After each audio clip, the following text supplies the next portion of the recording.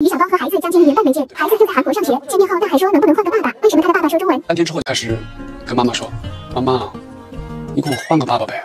啊，帕达，爸爸不能换，你怎么样换爸爸？啊，你呀，我看網上 YouTube 上爸爸都講韓國話，我爸爸怎麼講中國話？對， 아니 난 집 방에 있는데 둘이서 한 두 시간 나갔다 왔어. 근데 바다가 하, 하, 이러면서 어 바다 잘 놀다 왔어. 내가, 엄마 한국어 하는 아빠 좀 구해봐봐. 어디서 아빠는 하나지 그랬더니 뭐 유튜브 보니까 아빠들 어떡해. 일부러 한국말만 했어요. 왜냐면은 제가 중국말을 섞어서 해버리면 바다가 오히려 어, 혼란스러워서 한국말로 제대로 못할까봐 그래서 내가 효광아 아이들은 금방금방 느니까 걱정하지 말고 몸으로 일단 놀아줘라.